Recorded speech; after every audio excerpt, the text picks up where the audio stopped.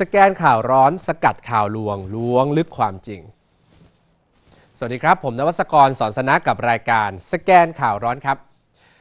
คุณผู้ชมครับหลังจากที่สถานการณ์การแพร่ระบาดของโควิด -19 คลี่คลายลงนะครับ ประเทศต่างๆ ทั่วโลกต่างก็ทยอยผ่อนคลายมาตรการในการเดินทางเข้าออกประเทศ แล้วก็มีการเร่งฟื้นฟูเศรษฐกิจนะครับ ทำให้มีความต้องการแรงงานจำนวนมาก เพื่อไปขับเคลื่อนการดำเนินการต่างๆ ของแต่ละประเทศนั่นเอง ประกอบกับปีที่ผ่านมาต้องบอกว่ากระทรวงแรงงาน ก็มีการไปเจรจา เพื่อขยายตลาดแรงงานในต่างประเทศ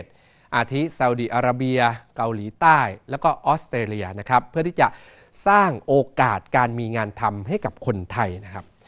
และด้วยเหตุนี้ครับจึงทำให้มีพี่น้องประชาชนหลายต่อหลายคน สนใจครับ ต้องการที่จะเดินทางไปทำงานในต่างประเทศจำนวนมาก ซึ่งส่งผลต่อจำนวนการหลอกลวง คนหางานไปทำงานในต่างประเทศด้วยนะครับ หรือที่เรียกว่านายหน้าเถื่อน ซึ่งต้องบอกว่ามีแนวโน้มเพิ่มมากขึ้นอย่างมากเลยนะครับ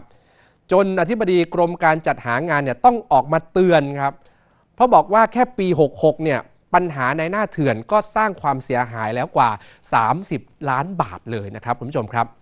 ใครที่กำลังคิดหางานทำในต่างประเทศก็ต้องฟังข้อมูลให้ดีๆนะครับ เพราะไม่แน่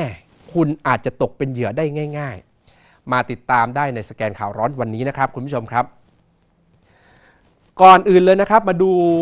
รูปแบบเขาบอกว่ารูปแบบการหลอกลวงคนไทยของนายหน้า ในการจัดหางานเถื่อนในปัจจุบันเนี่ยไม่ธรรมดาครับคุณผู้ชมครับ เดี๋ยวนี้ เขาก็นิยมใช้วิธีการหลอกลวงคนหางานผ่านระบบสื่อสังคมออนไลน์นะครับได้แก่แพลตฟอร์มต่างๆ เลยนะครับ ไม่ว่าจะเป็น Facebook TikTok ทวิตเตอร์นะครับแล้วก็แอปพลิเคชัน Line ด้วยการโพสต์โฆษณาชักชวน แล้วก็รับสมัครคนไปทำงานที่ต่างประเทศ ผ่านระบบออนไลน์นั่นเองนะครับเพราะอะไรครับ เพราะว่าสามารถที่จะหลอกลวงคนหางานพร้อมกันได้ครั้งละมาก ๆ เลย ที่สำคัญคือไม่จำกัดพื้นที่หรือว่าระยะทาง แล้วก็ไม่จำเป็นต้องพบหน้ากันนะครับเป็นไงครับ ต้องบอกว่ายุคออนไลน์มันง่ายแบบนี้ มันก็เลยมีคนเนี่ยตกเป็นเหยื่อจำนวนมากนั่นเองนะตลอดปีที่ผ่านมาครับ ทางกระทรวงแรงงานโดยกรมการจัดหางานเนี่ยนะครับ ต้องทำงานอย่างเข้มงวด แล้วก็เพิ่มความระมัดระวังขึ้นจากเดิมเนี่ยเท่าตัวเลย เพื่อป้องกันไม่ให้คนไทยเนี่ยตกเป็นเหยื่อครับ โดยมีการประชาสัมพันธ์สร้างการรับรู้นะครับวิธีเดินทางไปทำงานในต่างประเทศ ให้ถูกต้องตามกฎหมายมี 5 วิธีนะครับ5วิธีแบบนี้ แล้วก็เตือนภัยคนหางานนะครับให้เท่าทันเล่เหลี่ยมกลโกงของมิจฉาชีพผ่านสื่อต่างๆนะครับรวมทั้งมีการปราบปรามผู้กระทำความผิด ตามพระราชบัญญัติจัดหางาน และก็คุ้มครองคนหางานพุทธศักราช 2528 และที่แก้ไขเพิ่มเติม โดยในปีงบประมาณ พศ 2566 นะครับ ซึ่งนับตั้งแต่ช่วงเดือนตุลาคม 65 จนถึงกรกฎาคมปี 66 เนี่ยนะครับ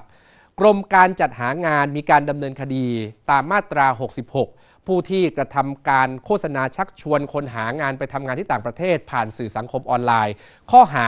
โฆษณาการจัดหางานไม่เป็นไปตามระเบียบที่รัฐมนตรีกำหนดนะครับจำนวนทั้งสิ้น 30 คดีด้วยกัน ตรวจพบการกระทำความผิดของสายของนายหน้าเนี่ยทั้งสิ้นนะครับ 142 ราย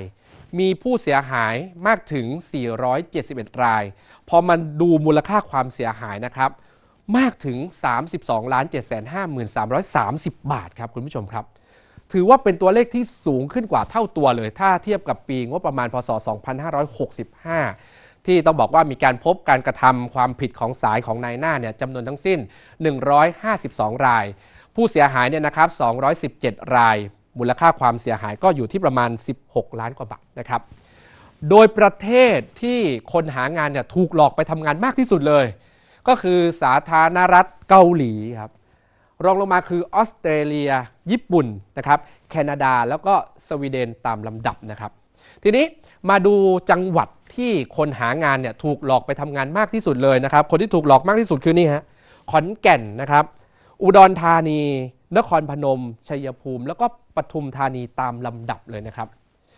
กรมการจัดหางานก็เลยออกมาเตือนแล้วครับว่า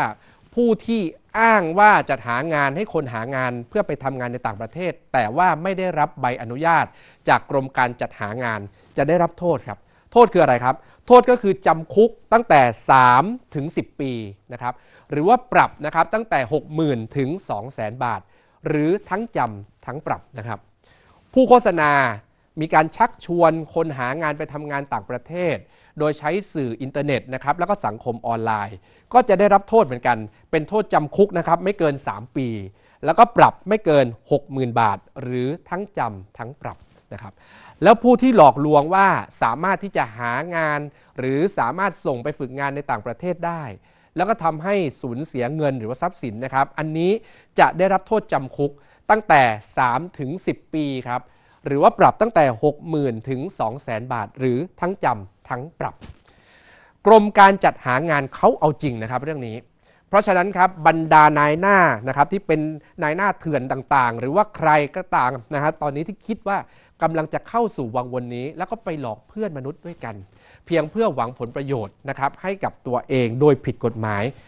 ก็พึงระวังเอาไว้เลยนะครับ เพราะว่ายังไงเสียวันหนึ่งก็ต้องถูกจับดำเนินคดีอย่างแน่นอน ไม่ช้าก็เร็วนั่นเองนะครับ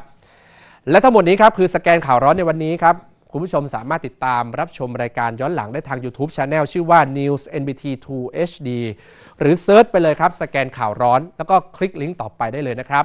แล้วกลับมาพบกันได้ใหม่ทุกวันหลังข่าวภาคค่ำแบบนี้ อย่าลืมติดตามชมกันนะครับ สวัสดีครับ